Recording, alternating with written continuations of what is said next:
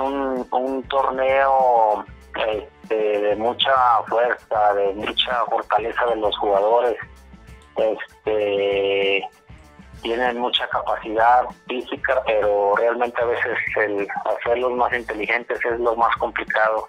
Este, precisamente habían algunos este, que habían ido, pero este, sí es medio complicado. Nosotros también con nuestras costumbres y la alimentación sí está un poquito complicado. La seguridad también, hay mucha inseguridad allá y este, pero pues que tienes que acostumbrar.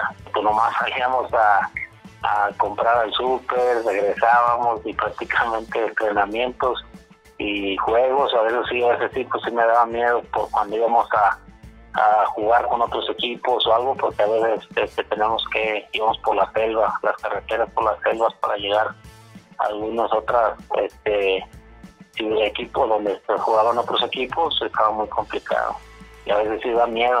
En sí, yo creo que eso siempre lo vamos a tener porque en sí, incluso hasta con los mismos jugadores, a veces, este, pues realmente eso es un ejemplo en Europa y todo eso, de que no haya racismo y eso, pero realmente en muchos lados, pues realmente de, al, mexicano, pues nos, eh, es muy muy complicado y siempre vas a tener gente que te va a estar tratando de humillar o decirte cosas, ¿no? Y a mí, pues cada partido cada partido este, pues que ibas a robar, muchas muchas cosas que te dicen. Ellos son, ellos se sienten siempre con más superiores y eso, o sea, eso sí tienen una mentalidad en el cual ellos se sienten pues muy superiores al, al jugador mexicano. Y realmente yo después porque no me respetaron lo de mi contrato.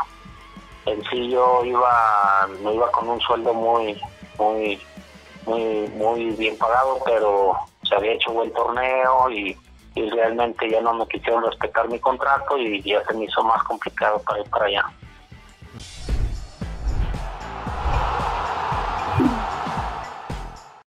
Nos encontraste, no nos pierdas. Suscríbete a nuestro canal de YouTube de Telemundo Deportes.